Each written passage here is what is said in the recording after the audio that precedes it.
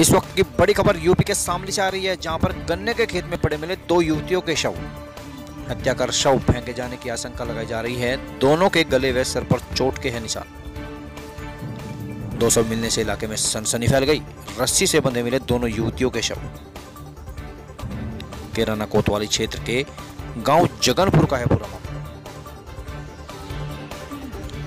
इस खबर पर ज़्यादा जानकारी के लिए सामने से हमारे सहयोगी संदीप शर्मा जुड़ चुके हैं।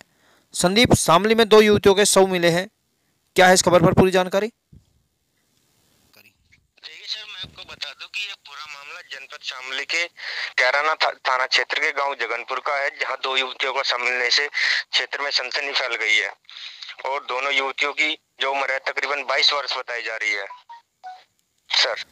संदीप क्या इन शवों की शिनाख्त हो पाई है? पुलिस क्या कार्रवाई कर रही है?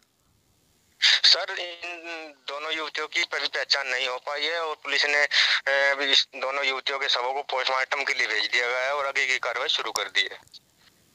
शुक्रिया संदीप, हमें इस तमाम खबर पर जानकारी देने के लिए आप खबरों पर लगातार नज़रें बनाए रखिए। इस वक्त की बड़ी खबर यूपी के शामली में गन्ने के खेत में पड़े मिले दो युवतियों के शव।